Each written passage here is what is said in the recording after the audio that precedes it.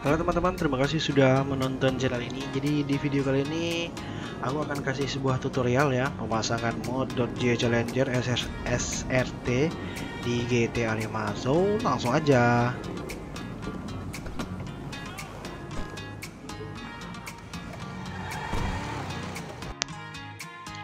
Jadi habis di download langsung teman-teman ekstrak ya. Terus habis di ekstrak teman-teman bisa buka. Kita di sini pakai add-on.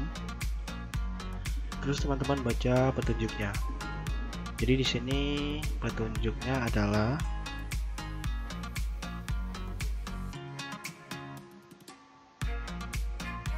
teman-teman bikin folder dulu ya. Folder. Terus nama namanya teman-teman copy ini ya. Klik kanan copy. Terus di sini teman-teman ya kasih folder yang namanya yang kita copy tadi lo nggak berubah gini. Copy rename paste. Oke habis itu ini teman-teman masukin ke sini. Oke terus teman-teman copy terus teman-teman bisa buka directory GTA teman-teman. Ya entah itu di C, G ataupun E gitu. Jadi di sini buka direktorinya. Teman-teman bisa pastiin di update. X64 dealpacks terus teman-teman pastiin di sini. Oke. Okay.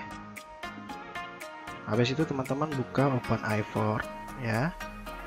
Jangan lupa edit mode. Terus teman-teman bisa nambahin uh, oh sorry. Jadi teman-teman buka update update RPF terus teman-teman bisa pilih command terus data. Di sini teman-teman ketikkan DLC DLC klik kanan ya. Pilih edit. Terus teman-teman tambahin baris yang ini. Oke.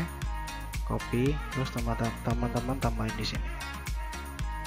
Paste. Save. Dan sekarang kita ke gamenya aja. Dan sekarang kita udah sampai di gamenya ya teman-teman ya. Jadi langsung aja kita input model.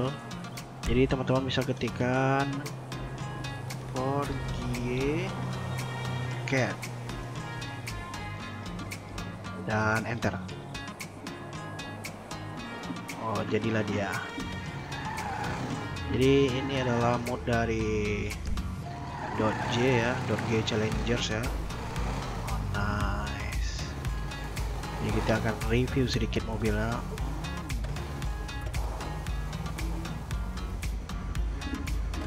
Oke, kita review sedikit.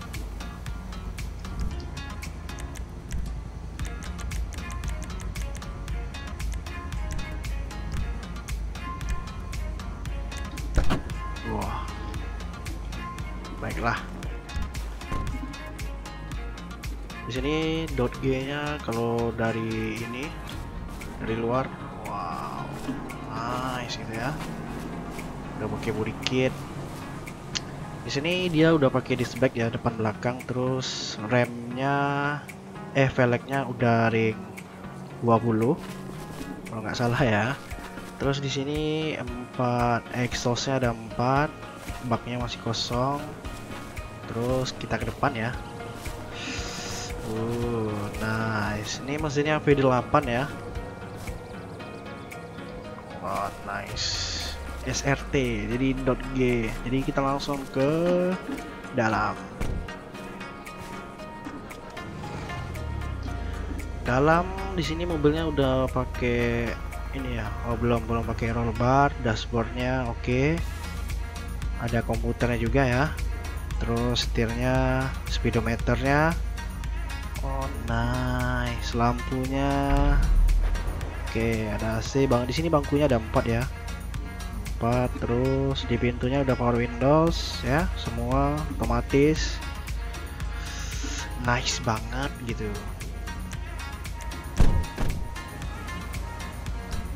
Oke sekian dulu untuk video kali ini ya teman-teman ya. Jangan lupa like, komen, dan subscribe channel ini. Semoga video ini bermanfaat buat teman-teman yang pengen masang mod di GTA 5 nya dan sampai jumpa